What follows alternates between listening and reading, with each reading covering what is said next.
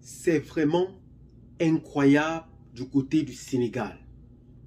Le président de la République sénégalaise, Diomaye Faye, a été humilié en France. Plusieurs photos aujourd'hui ne cessent de circuler dans les réseaux sociaux montrant en évidence certaines radios euh, euh, françaises qui descendent ou qui humilient le président, français, le président sénégalais Faye.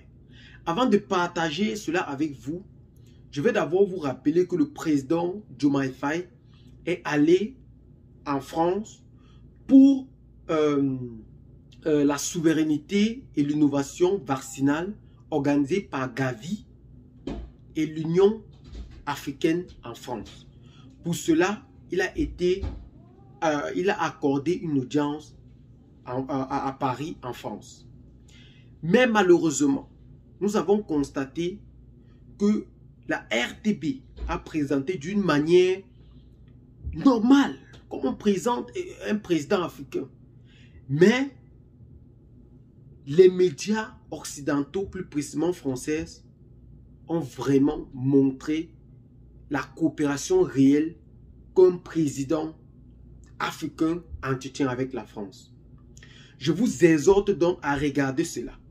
Observez, président sénégalais a été présenté par la RTS d'une manière diplomatique. Comme normalement à l'accoutumée, on présente un président de la République. Mais fort malheureusement, on constate qu'un média français est entré en ébullition pour présenter un président africain. Cela montre en réalité la coopération que ce pays africain essaie d'entretenir avec la France.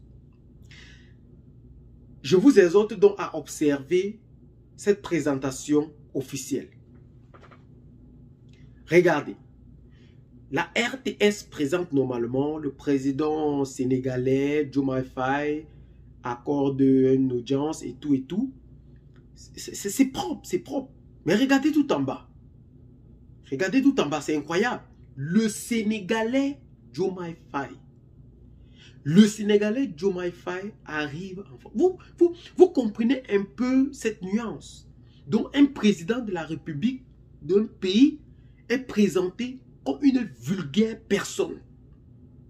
Parce que même les moindres personnes que nous mais un président africain se fait présenter ainsi par un média, un gros, mais pas n'importe quel, un vrai média français qui décide de présenter un président comme ça. Ce n'est pas tout.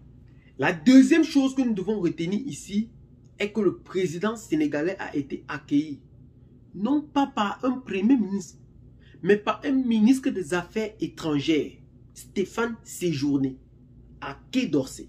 Donc il a été accueilli, un président de la République a été accueilli dans les bureaux d'un ministre des Affaires étrangères. Est-ce que vous comprenez la profondeur euh, euh, euh, de cette visite que le président français a réservée au président sénégalais Diomaye Faye? Il a été, il a été accueilli au Quai d'Orsay. Il a été accueilli au Quai d'Orsay par un ministre des Affaires étrangères, Stéphane Séjourné. C'est incroyable, mais, mais nous comprenons en réalité qu'il faut aujourd'hui, où nous nous posons la question, à quand ou quand réellement la France doit essayer de retirer son coude sur notre cou pour que nous puissions mieux respirer. Nous nous posons cette question pour que nous puissions mieux respirer. Ce n'est pas tout, hein. La troisième encore, c'est que ceci reste encore à vérifier. Ceci reste encore à vérifier. Cette photo que le président français ne cesse aussi de circuler dans les réseaux sociaux qui montre le chef de l'État français Emmanuel Macron tout en saluant le président euh, euh, euh, sénégalais Diomaye Faye avec une autre main dans la poche. Une autre main dans la poche. Pour montrer en réalité toujours le paternalisme. Oui, pour montrer que nous sommes des maîtres. Nous sommes des maîtres et nous continuons à être des maîtres. Ouais, que ce n'est pas fini ce paternalisme. Ce n'est pas terminé. Nous y sommes toujours. C'est ce que nous sommes en train de nous montrer au fait. Et que nous devons voir. La quatrième chose, ce n'est pas encore tout. Mais ceci est moins grave. Parce que nous connaissons que c'était là. C'est quelque chose que nous tous quand même, on connaissait avant.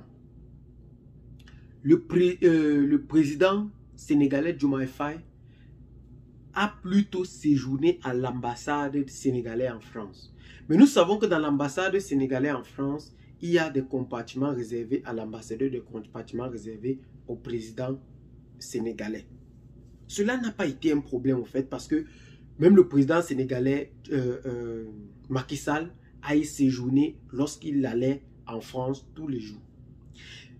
Mais la question que nous nous posons est que si le président français a réservé cet accueil au président sénégalais, est-ce parce que, à l'accoutumée, chaque président français avait l'habitude de se rendre d'abord premièrement comme visite officielle dans un pays étranger en France, avant d'aller dans d'autres pays, que le président euh, Faye a cassé tout d'un coup.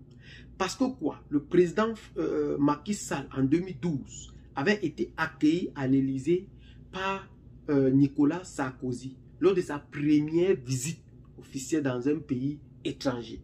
Mais le président Diomaye Faye, une fois arrivé au pouvoir, a cassé ce rythme, a été plutôt parti dans les pays de l'AES. Les pays qui ont, euh, qui ont euh, en effet causé une rupture totale avec la France. Et aujourd'hui, nous nous posons donc bien cette question de savoir si ce n'est pas cette rupture en réalité qui nuit réellement la quiétude du président français. Parce que ceci est plus que profond. Et nous, nécessitons de nous amener à, à poser réellement ces questions. Parce que c'est plus que profond aujourd'hui. Oui, parce que cette visite qu'on a réservée à ce dernier a été humiliante. Aucun président n'a jamais été reçu ainsi. Ici en Afrique, lorsque notre président arrive, nous savons comment tous ceux-ci se déploient pour accueillir leurs homologues, leurs frères présidents. Mais une fois arrivé, vous voyez ce qui a été fait. Le Sénégalais Diomaye Faye, comme une vulgaire, même les personnes moindres qui ont été accueillies à l'Élysée n'ont jamais, je dis bien, n'ont jamais été présentées de cette manière n'ont jamais été présentés de cette manière. N'ont jamais été présentés de cette manière. Ceci a étonné tout le monde. Vraiment, c'est incroyable. C'est incroyable. Mais par rapport à cela, nous vous exhortons donc à partager massivement la vidéo. En sorte que tout un chacun s'en rende réellement compte de ce qui se passe de cette partie du monde. Oui, se rendre vraiment compte de ce qui se passe de cette partie du monde. L'Afrique est plus qu'en danger aujourd'hui. C'est de trop. Et nous devons le comprendre ainsi que c'est de trop. Ouais. À très bientôt pour de nouvelles vidéos. Ciao. Bye bye.